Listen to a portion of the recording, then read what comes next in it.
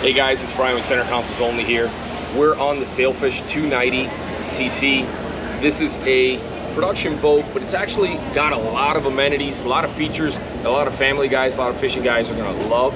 I wanted to go ahead and give you a walkthrough and show you every little inch of this boat, see if, uh, if you guys like it as well.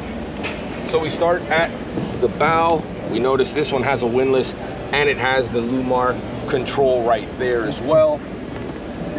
Real simple. Up here you'll notice this not only has the U-shaped seating, but it all it also has a removable table with integrated cup holders. So that's a really nice feature. You can never have too many cup holders or storage on a boat. And speaking of storage, if we look up under the starboard side, just like the port side, there is a ton of storage that goes all the way up to the bow there. So we come back here, we've got more storage. This is a dry storage there. So we've got forward seating in this particular model with a cooler underneath it. So it's a standard cooler doubling as seating, which gives you just more space to take more people out on the boat with you. In here behind the console, we've got we've got a head, plenty of rod storage space.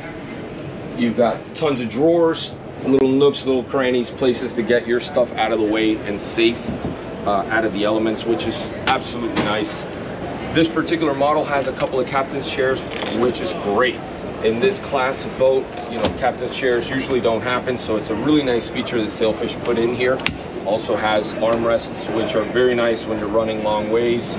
We've got a footrest here with integrated storage, also access to your charger. Go ahead and get that down. So at the helm, we've got our standard switching trim tab control fusion head unit that is connected to a wet sounds sound system. Uh, we've got a very clean dash here, room for two screens, probably 12 inch or so. We've also got this awesome storage with charging. Again, I love storage. Keep things out of the way, keep it safe, keep it out of the elements. Another little spot for storage right here, just in case you have some keys or something you want to toss in there. If we look up at the hard top, we've got a bag here for more storage. Could put life vests in there or other items that need to dry off. We've got more storage way up here. We've also got our Garmin VHF up there as well. Little pockets for storage, footrests, and in this particular one, it's got a helm pad. I love that. Keep your feet happy. As we move back, we've got this little station here. It's great feature is to have this sink here, cup holders, and a leaning post live well. That is a very sizable live well, being the leaning post. Now this 29 has pretty good cockpit space. We've got two fish boxes on either side, port and starboard, so that's really nice feature.